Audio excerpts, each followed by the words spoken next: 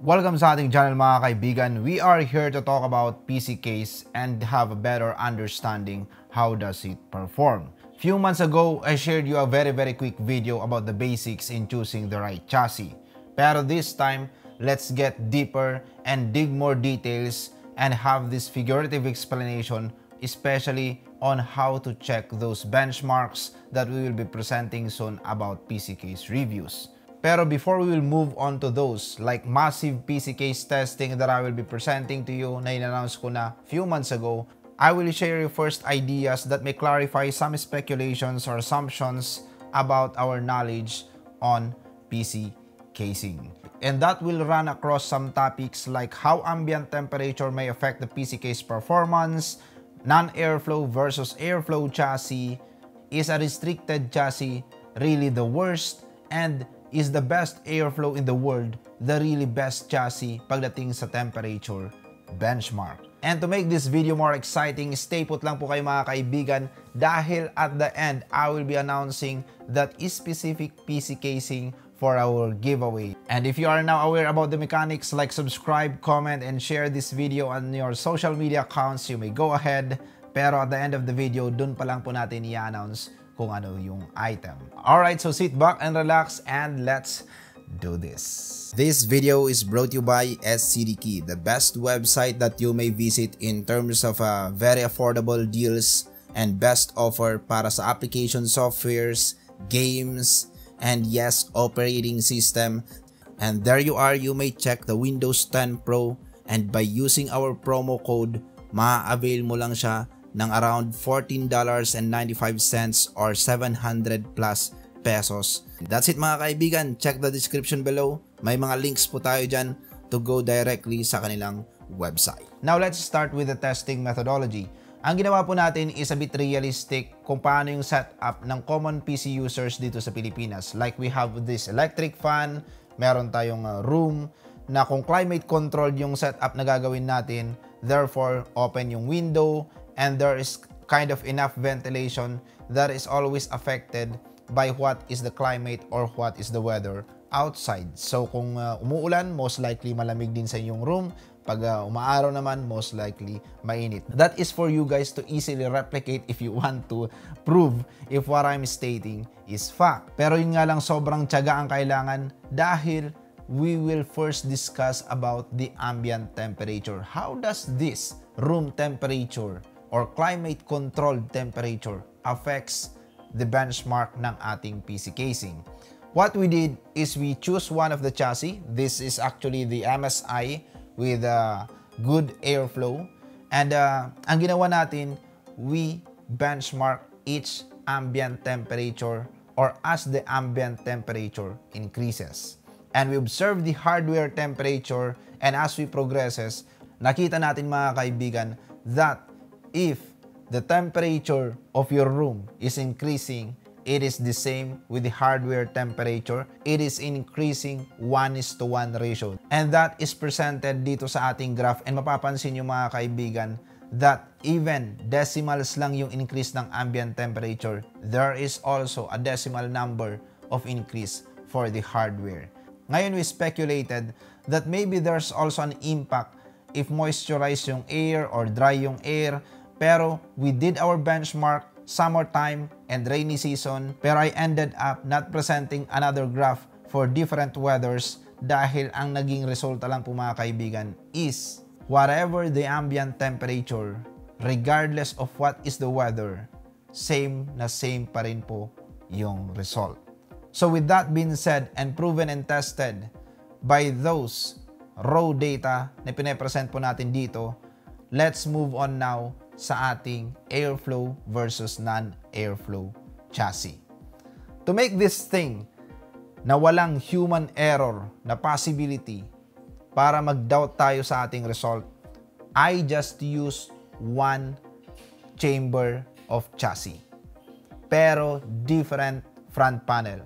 And one is high airflow front panel. Ibig sabihin, ang pinagkaiba lang ng dalawang comparison na to is just the front panel.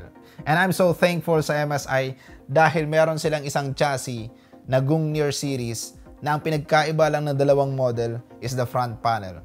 And there we have the results. And mapapansin natin mga kaibigan that some of you guys may think twice. What? 5 degrees Celsius? I'm expecting 10. I'm expecting 15. And we ended up benchmarking another high airflow chassis, the unobstructed one, which is the Lianli, but still the result is almost the same. Ngayon, anong napatunayan ng ating benchmark? Yes, it may not be significant if we are just dealing with hardware temperature that if in case hindi high airflow yung gagamitin nating chassis, acceptable pa rin yung temperature. That is 70 over 75 degrees Celsius. Pero what if the hardware is performing at 85 degrees Celsius even with a high airflow chassis? Then there you will have a doubt if you will still be using a restricted chassis at a 90 degree Celsius temperature. Dito ngayon masasabi natin mga kaibigan that the front panel is just one of the factor in considering what chassis will you choose especially if you are talking about temperature. Because there is still that kind of factor na ambient temperature.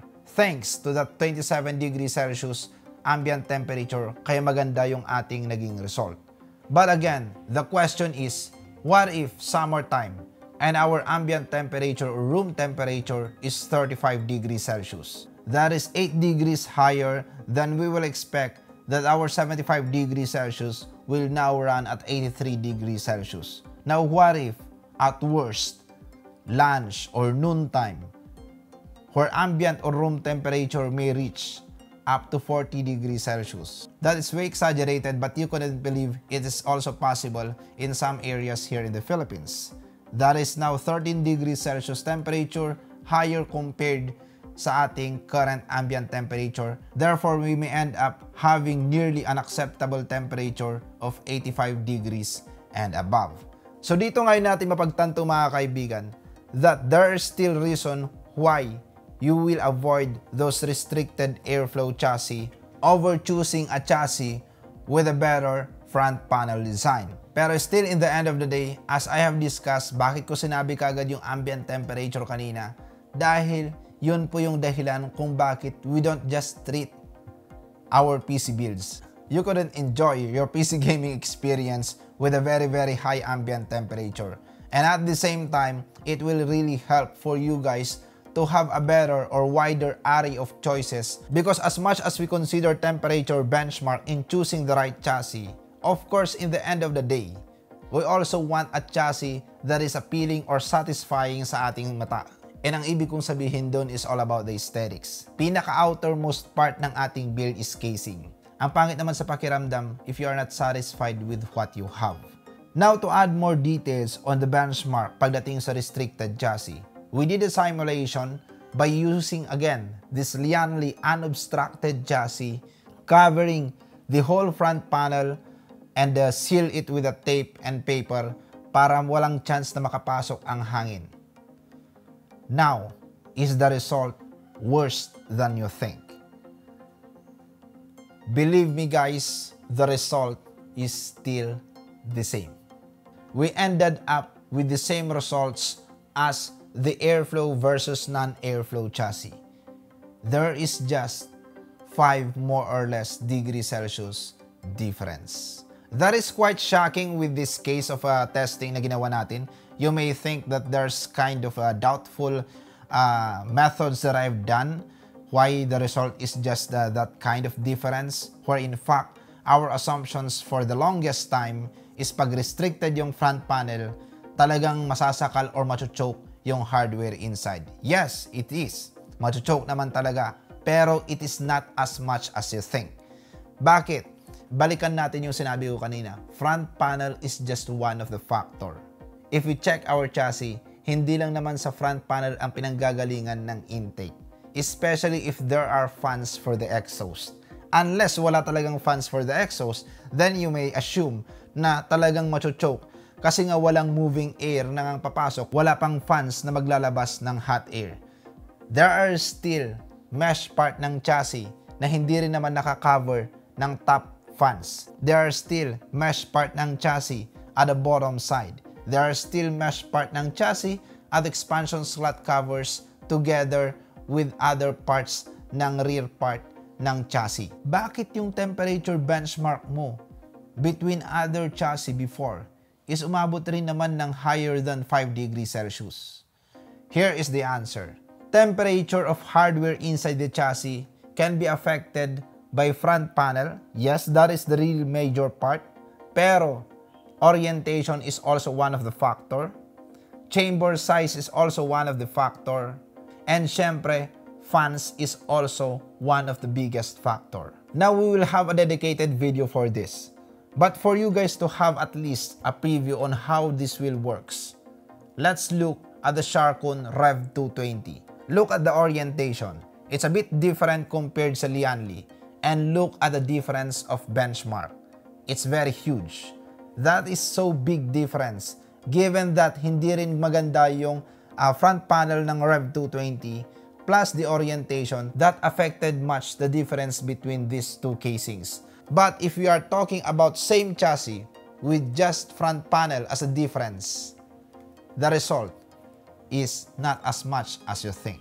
What I want to clarify on this, front panel as we always assume is not always the thing that we will look into in checking which is which chassis you should consider especially if we are dealing or we are talking about temperature benchmark. Now let's go back sa ating Lianli 215 unobstructed chassis. Considered or arguably most of the tech reviewers mentioned that this is the best airflow chassis, even me. I cannot excuse myself kasi yan din yung naging uh, benchmark results ko or findings ko with this chassis back then. Pero as we move on with this massive PC case testing that we are now dealing with the numbers of chassis like I think that is 20 plus to almost 30 now, there are few things that I have discovered. That here in the Philippines, we have great chassis actually. TechWare Nexus Air is benchmark compared to this chassis and we couldn't believe with the result. Actually, sa sobrang hindi kami nininiwala sa result, ginawa namin ng paulit-ulit yung benchmark. Like, we did at noon time, lunch time, break time, whatever time, pero still the result is the same. The Lianli 215 is inferior pagdating sa usapang temperature, I mean temperature, compared sa TechWear Nexus Air. So what is the meaning of this? Actually, there are some kind of uh, theory na naisip din namin when we did the benchmark. Pero sa sobrang dami na ng theory na naisip namin, we ended up with one thing. Yes, Lianli 215 unobstructed chassis doesn't have a dust filter. TechWear Nexus Air does have a dust filter which is doon ka talaga mapapaisip. Pero dito natin malalaman mga kaibigan that hindi porket mesh yung front panel it is now a very good one to consider that this is a better chassis over the other. It is also about how big are the holes. TechWear Nexus Air, kung mapapansin nyo, medyo rectangular in shape and in every two holes sa Lianli 215, that is equivalent to one hole na rectangular with no barrier sa gitna. Compared sa dalawang butas, still merong barrier doon sa gitna between those two holes. Pero sa rectangular na cuts or nabutas ng TechWear Nexus Air, diretso lang siya.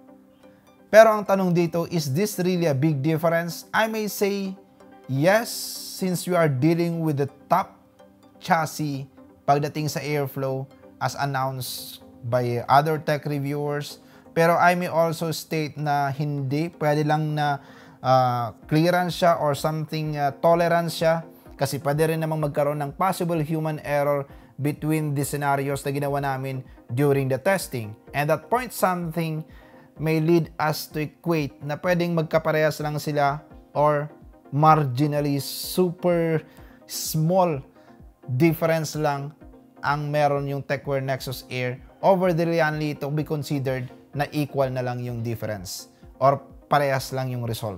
Pero what we realize in the end is that dust filter na tinanggal ni Lianli is not a big factor to gain a better performance. Especially that there have no uh, numbers shown sa kanilang website para i-present sa atin if that is really effective move done by Lianli.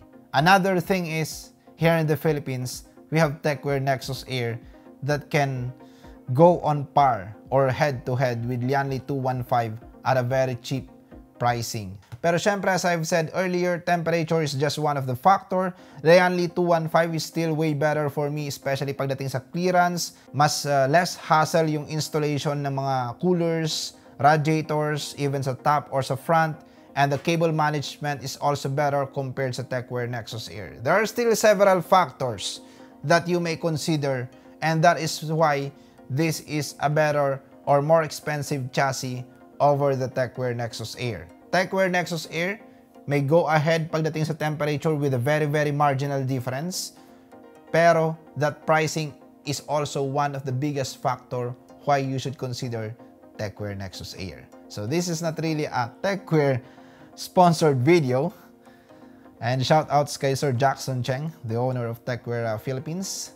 Pero ayun, uh, I'm just happy to announce sa inyo mga kaibigan na maraming mga benchmarks kaming ginawa recently na kahit kami mismo nagugulat dun sa mga result. Now, speaking of nagugulat mga kaibigan, meron pa kaming isang benchmark na ginawa na sobrang nagulat kami and I may consider this that, oops, hindi mo na natin to present kasi we don't have uh, enough data to prove our claims once na question tayo. It is actually the experiment na ginawa namin na bit controversial yung naging result for us and uh, quite questionable na kailangan namin itong gawin ulit or i-replicate with different chassis dahil kailangan natin ng mas maganda or mas mabigat na proof to present this Naglagay kami ng tatlong fans harap. Pinatay namin yung exhaust. The temperature is better compared sa naglagay kami ng tatlong fans para sa exhaust pero nakapatay yung fan sa harap. You may also comment down kung meron kayong idea or opinion bakit ganun yung naging result namin na mas maganda kung uh, positive airflow only over negative airflow only.